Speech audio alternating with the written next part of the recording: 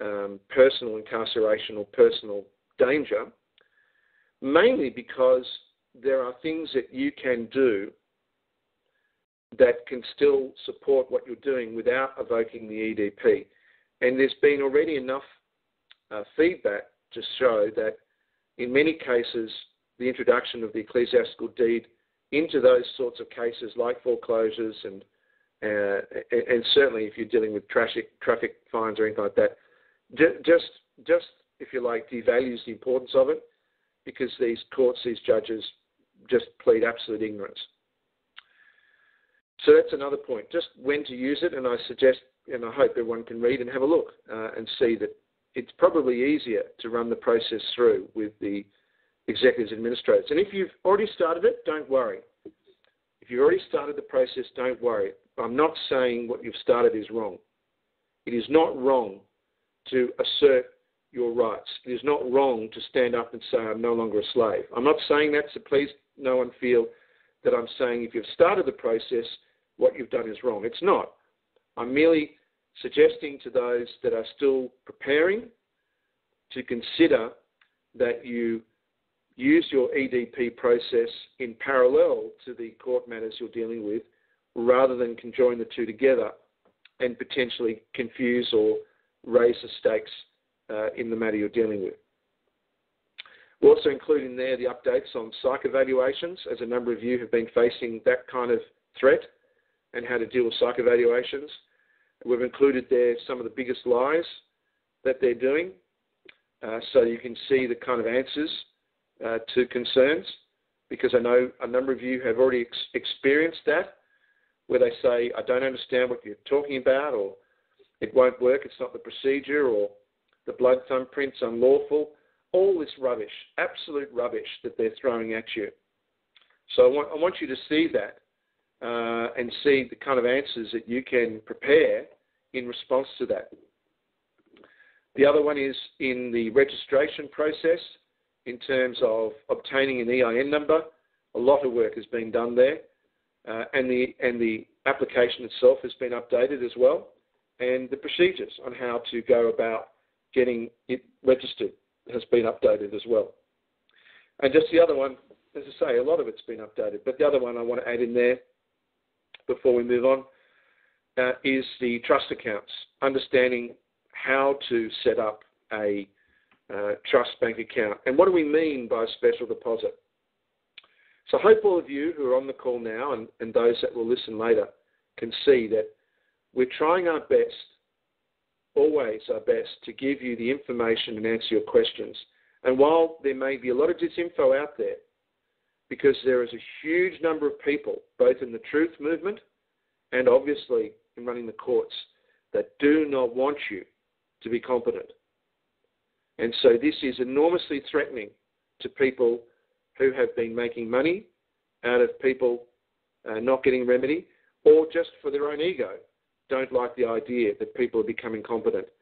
In spite of that, you can see that we constantly, constantly are trying to help and understand and learn exactly how to get remedy for all of you because that is your divine right. That is written, and these people are in extreme dishonor for refusing that. So I'll leave that up to you all to read at your leisure. Well, I want, I want to talk about uh, foreclosures. I, actually know, before I do that, I'll answer one question, which is a, a relevant one. Uh, and, and, and this is a, one that uh, a number of you raised, but I wanted to show you just how strong this is. What does the word poll mean in terms of a deed poll? And if you actually go to the introduction uh, page, you'll see that we've inserted this now in the middle, explaining the word poll doesn't mean a survey in the context of this. A poll when it comes to a deed, actually comes from the ancient Latin word pollex, P O L L E X, and it means thumb. So I thought you'd find that interesting, all that that the word poll, as it as, as it is anciently assigned to a unilateral deed, actually referred to the seal being a thumb. So whenever you get some smart aleck prosecutor, attorney, clerk telling you that you have not done a correct instrument, you might say to them, well, in fact, a thumbprint, a blood seal thumbprint, is in fact the ancient procedure for a deed poll, not a signature. A signature, in fact, is unlawful in the ancient form of a deed poll. So whenever you get some smart aleck, ignorant clerk telling you, no, I can't accept something in a thumbprint, you've now got something that you can show them. All right, foreclosures. Actually, before I get to foreclosures, I'll, I'll talk about the canon updates, and then we'll get into uh, foreclosures. So on canon updates uh, on one-heaven.org, I'm sorry if I'm jumping around, but there's a lot of things to cover. On updates of canons in uh, on one heaven under positive law, I've already covered the first, which was the laws of necessity, which weren't clear before and are now clear there as a body of canon. Uh, and those canons that were there have now been prepared to go into the canons of administrative law, so nothing's lost. The other one I want to show you, um, which is extremely important, is the aspect of consent, because I know that consent was a, a concern of a number of people in, in how do you send a deed poll, even though it's obviously if it's a thumbprint now, that's the ancient process, but how do you send a deed and still claim that it is, is consensual with the other party? So I'm looking at Article 114. And Article 114 of Positive Law under one-heaven.org we have Canon 1418. That's Canon 1418 under Article 114. And I just want to read this out to you. Natural birth of the flesh is proof of lawful conveyance from a divine trust to a true trust. Let's read that bit again so, so we're clear. Natural birth of the flesh is proof of lawful conveyance from a divine trust to a true trust as a result of willing consent by the divine person to be born in accordance with these canons. In other words, a divine trust is formed uh, in accordance with as we spoke. And when we mean divine trust, I know this is a concern of a number of people, so I'll just make it clear. Nothing that I'm saying contradicts one word of Scripture.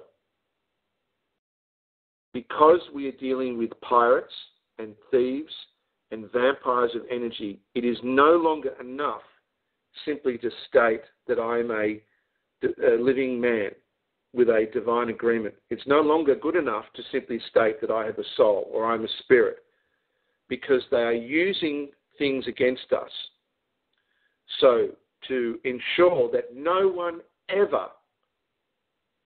dishonors the scriptures and our beliefs ever again, we are extending the concepts so that this grey area is clear. And this grey area is what we mean by uh, divine immortal spirit, what we mean by our soul, what we mean by our relationship with the divine. And in doing so, we strengthen our position against these pirates. So, what we're saying here is when a divine trust is created, the divine person, by being part of the divine, can never be considered incompetent. Never be considered incompetent. The flesh is another thing, but the divine person, our soul, can, being part of the divine, can never be considered incompetent. But more importantly, we show that because a divine trust is created, and because these words extend consistently from Scripture and belief, that it is entirely consistent with what uh, I hope rational and sensible uh, and, and, good people would regard as being uh, on the same vibration and the same uh, beliefs that they have in the Golden Rule and in what divine law means. We're saying that by the, the existence of the flesh that we see a conveyance and we see a consent. So let me finish this canon then. Therefore, the existence of the body of a living flesh Homo sapien is proof of their divine ecclesiastical consent to obey these canons. In other words, part of when you send a ecclesiastical deed to a Roman official is on the understanding of this canon that their spirit has already agreed by the fact that they are on this earth in flesh, has agreed to the rules of the divine, to divine law, and if the flesh does not honour that deed, then the flesh, by definition, has declared itself incompetent. Now, I, again, I know this sounds like we're playing with words or that we are forming these arguments, but remember, arguments and words and ideas is exactly what they've used against us. And whilst I would rather not be uh, detailed and not go to the extent and spend so much time on this, the reality is that you cannot defeat a system that is a bad idea, a complex bad idea, with just walking away from it. If it is a complex bad idea, then there needs to be something to replace it. If you don't replace it, it stays. That's been the issue with canon law from the beginning. I, have heard a lot of people say, and in fact, this is used against me constantly by people who don't think of what they're saying, or if they do, then they're not being genuine. That is, you can't defeat the canon law of the Roman cult by simply saying we don't agree. Because by promulgating canon law, what they're saying is this is the rule of law, the norm of law, the standard of law in the absence of a comparable alternative.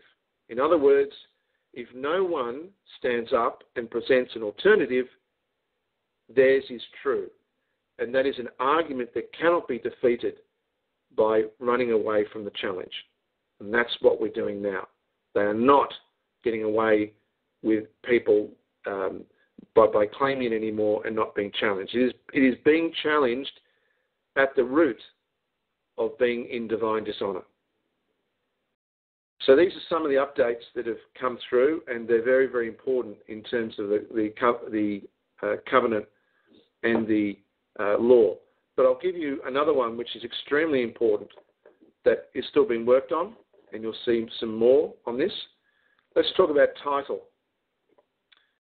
Now, this blew me away when I saw this come out of the research. And I'm referring to title, which comes under, where are we? Uh, da, da, da, uh, I'll see it in a sec. Title, title, title. Uh, title, there it is, Article 71. I'm just going to read this and then we're going to move on to foreclosure as promised. So Article 71, Canon 1049. A title is both a valid inscription or entry into the asset register of a trust and a certificate or notice of proof of such entry, and therefore claim of right of ownership.